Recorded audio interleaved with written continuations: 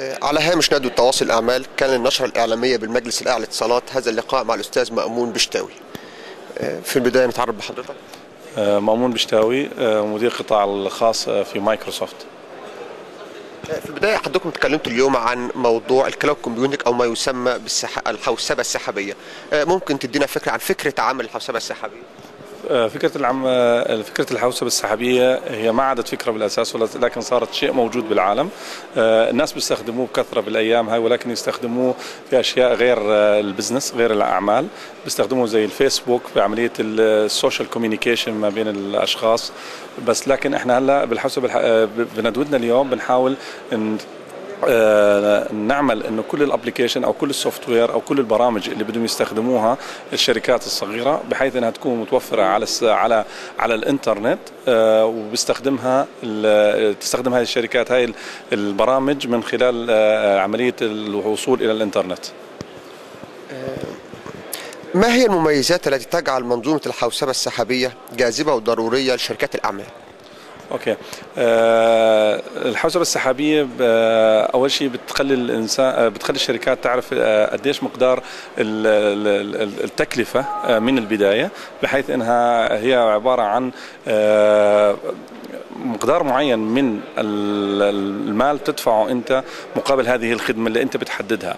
فانت ما في عندك أه أي أه بنسميه يعني ما في عندك أي hidden cost موجود على على هذا هذه البرامج. فبتخلي الشركة عندك تهتم أكثر بال business الرئيسي اللي نشأت هذه الشركة من أجله وتترك موضوع ال IT أو موضوع ال technology للشركات اللي هي بتعمل برامج مشتركة لجميع الشركات. بشكل عام. فبتخلي إنه الثمن التكلفة لهذه البرامج قليل جدا. فبحيث تكلفتها قليلة جدا معروفة.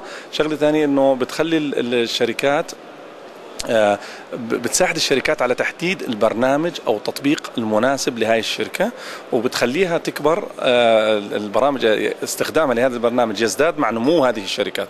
لكن بالايام العادية بالأشياء بالوضع الطبيعي الشركات بتشتري أجهزة وتشتري برامج ممكن تكون مطابقة للبزنس تبعها أو للهدف اللي انشئت من أجله ممكن ما تكون مطابقة لها. فهذا بكلف الشركة إنه بعد فترة إذا اكتشفت إنه هذا البرنامج أو هاي الاستثمار اللي عملوه ما أثر على ال business تبعهم فما في مجال إنهم يرجعوه. فإنه خلص خسر الفلوس كأنه خسرها. بينما بالحوسبة السحابية انت بتستخدم الشيء اللي انت بدك اياه اللي شايف انت حسب ال recommendation لك. إذا اكتشفت إنه بعد شهر أو شهرين أو بعد يوم أو وات المدة إنه مش مناسب أو ما ساعدك لتزيد ال business تبعك بإمكانك توقفه. فأنت بتكون خسرت بس ال investment اللي عملتها اللي هو المعروف قديش قيمتها خلال الفترة الماضية اللي سويتها. من وجهة نظركم ما هي أهم التحديات التي تواجه أنظمة الحوسبة السحابية؟ التحديات اللي هو اللي بدنا نحكي انطباع الناس عن الحوسبة إنه الموضوع الأمان وال security إنه أنت بعرفش وين موجود ال application هذا ال data اللي موجودة عليها هل الناس بتعمل عليها access بتشوفها ولا بتشوفهاش؟ آه وين موجود بأي مكان من العالم؟ طب أنا لو بكرة بط... آه بدي أسحب ال data تبعتي هاي من ال... من ال... من المكان اللي أنا معمل هل بإمكاني أخذها ولا مش بإمكاني أخذها؟ فكل هاي التحديات. لكن يعني والأهم التحدي الرئيسي اللي هي موضوع ال internet connection وأتوقع إنه في قطر دولة قطر ما عاد هذا التحدي كبير لأنه الإنترنت متوفرة بعدة أنواع من ال technology سواء بالبيت عن land line ل DSL أو ل 3G فهو التحدي لأنه إذا ما كان في إنترنت ما بتقدر تعمل access أو ما بتقدر تصل لهي التطبيقات. فهو هذا التحدي الرئيسي ولكن التحدي الثاني زي ما حكيت لك هو انطباع الناس عن هذا وأتوقع أنه من خلال هاي الندوات من خلال عملية الاتصال مع هذا الشركات بنحاول نفهمهم أو نأكد لهم إنه موضوع السكيورتي أو الأمان بهاي التطبيقات متوفر ومأخذ بعين الاعتبار من قبل الشركات اللي إحنا بنزود هاي التطبيقات من خلالها. يعني نقدر نقول الشركات إن في أمان الموضوع ده في أمان وفي قوانين هناك تحكم هذا الموضوع؟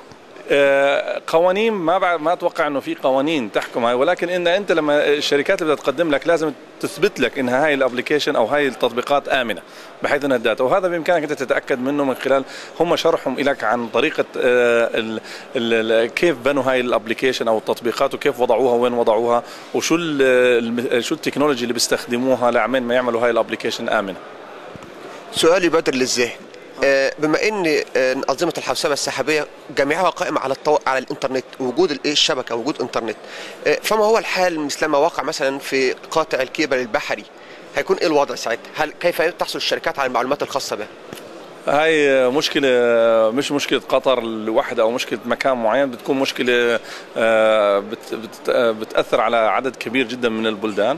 وساعتها اللي هي ال business راح يوقف حتى لو كان يستخدم ال application على حوسبة أو يستخدم ال application عنده بالمكتب لأنه حتى لو كان عنده بالمكتب ال application ما راح ما راح يقدر يعمل connection على الإنترنت كمان. لكن المعلومات متاحة. المعلومات متاحة محليا يعني بس مش متاحة إنه بإمكانه يرسل ويستقبل وكذا. فيعني لسه في limitation yes إنه هي ما راح تكون زي ما لما تكون بس هذه سيئة من وبينما مقابلها عدة حسنات كثيرة فبتخلي ال business ساعتها يعني ممكن انك تتعايش معها. يعني ما بنقول لك إنه 100% إنه البرنامج آه، في يضمن لك ال availability بغض النظر عن الظروف وعن ال- الكوارث اللي بتصير بس هاي بتنتج نتيجة كارثة معينة يعني بس. هل هناك قوانين حاليا بتحكم عملية التنقل من مقدم خدمة لآخر؟ يعني لو أنا مثلا حاليا شركة معينة بتقدم لي خدمة الحوسبة السحابية وعاوز أنتقل لمقدم آخر مع انتهاء عادي هل هناك قوانين تحكم ذلك؟ أتوقع هذا يعتمد على طبيعة العقد اللي أنت بتوقعه مع الشركة اللي أنت الم- المزودة لك بهذا ال- ال- التطبيقات وهذه المجالات. بالنهاية أنت يعني ال- ال- الإيميل أو المال الايميل أنت الإيميلات موجودة عندك بالجهاز بإمكانك تخزنها عندك. لو انتقلت لمكان ثاني بإمكانك تأخذه ولا لا بيعتمد حسب القانون حسب العقد اللي موقعه أنت والشركة اللي مقدمة لك ال application هذا. فهي هاي اللي بتحكم هذا الموضوع. في بس ما يعني ما يمكن- ما بتقدر تحدد بالضبط شو اللي, اللي ممكن يصير بناء على العقد اللي أنت موقعه بينك وبين الشركة اللي مقدمت لك العملية ال- الحوسبة السحابية. أحيانا بعض الشركات الخارجية يعني على سبيل المثال الدول الأوروبية بيكون لها قوانين بتحكمها كشركات داخليا. في حالة مثلا آه، كنوع من الشراكة مع دول أخرى وشركات خارج الحدود. في الحالة اللي زي ديت مع أنت بتمشي حسب قانون اني بلد. يعني الحوسبه السحابية في الحالة اللي زي كده بتضطر إنها تتبع قوانين البلد اللي موجود ولا قوانين البلد اللي خارج منها أو لا بتوقع إنه هون إحنا كونها إنه إحنا البرنامج اللي إحنا الحوسبه السحابية اللي بنعملها إحنا نتبع قانون قطر لأنه كونه انه الشركة التي تقدم هذه تابع موجودة في قطر وتابع وتابع لها يعني موجودة في قطر. فتخضع لنظام ال ال ال regulation تبع ال ICT قطر بناء عليه بيعتمد عليه لأنه في في يعني الموضوع مش موضوع مفتوح موضوع فيه له قوانين وفيه له التزامات وفيه له آه ثوابت بتحدده.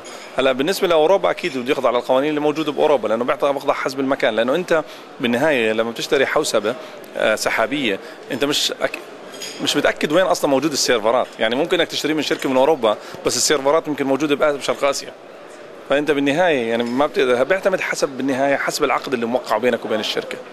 فهذا اللي بح- بحكمه وهذا العقد بيكون خاضع لقوانين معينة مذكور فيها بيكون إنه اي اي أي اختلاف أو أو آه، ديبيت بينه وبينكم بين الطرفين بيخضع لقانون معين بيكون مذكور بالعقد هل في آه، يعني إقبال من قبل الشركات منطقة الخليج على النظام الحوسبه السحابية؟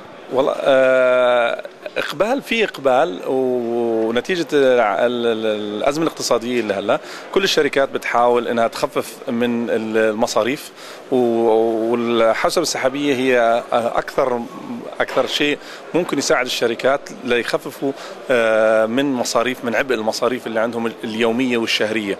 ف يس آه، في إقبال بس آه، لحد الآن كمفهوم كحوسبة موجود في منطقة الخليج لسه ما وصل للمرحلة اللي بتقدر تقارنها بأوروبا ودول تانية. آه، لو حبيت تدي نصيحة للشركات المتخوفة من استخدام الحوسبة السحابيه إيه نصيحتك اليوم؟ آه، أنا بأكد أنه المستقبل للحوسبة السحابية و- وعاجلا أم آجلا كل الشركات حتى الشركات الكبيرة مش الشركات الصغيرة. آه، وهذا الشيء آه، أنا ب- بشجع كل الشركات أنها آه، ما تأخذهوش بالبداية بس لو جربوه أنا متأكد أنه راح يشوفوا أنه الموضوع أنه secure مش أي مجال. أنا ما أتوقع في أي interest للشركات ال- يعني مهتمين جدا بعملية ال security لأنه هذا ال business تبعهم. فإذا أعطوك آه، أمان وأعطوك فمعناته الشركات هاي اللي تقدم الحوسبة السحابية راح تستمر وراح يزيد ال customer تبعونها. فهي أحد أحد الأشياء الأساسية اللي هي بأي service بيقدموها لازم يكون مضمون عملية الامان فيها. هل هناك أسعار معينة حاليا للحوسبه السحابية لدى شركاتكم لل- للشركات اللي تريد استخدامها؟ زي ما أعلنا بالندوة تبعتنا إنه في كثير أعطينا زي ما تحكي أسعار تشجيعية في البداية للشركات اللي من 10 موظفين ل 20 ل 50 بيعتمد هذا ك ك زي ما تحكي شيء أساسي اعطيناه للشركات. وأسعار تشجيعية يعني أنت بتحكي عن 50 user اللي 50 موظف في عندهم. مع website مع emails مع storage ليخزنوا ال data تبعتهم بتحكي عن 1250 ريال. فهذا الشيء لا يشكل جزء من راتب يعني لا يشكل أجار المكان اللي بدك تحط فيه السيرفرات اللي بدك تحطهم. فلذلك يعني أسعار تشجيعية وأتوقع إنه لما تزيد بكرة الشركات اللي بتقدم هاي الخدمة أتوقع إنه هاي الأسعار كمان راح تنزل أكثر وراح تخلي العملية إنها بتصير كثير كثير cost effective لكل الشركات. في النهاية نشكر الأستاذ مأمون وشاكرين لحضرتك. شكرا لكم شكرا لكم.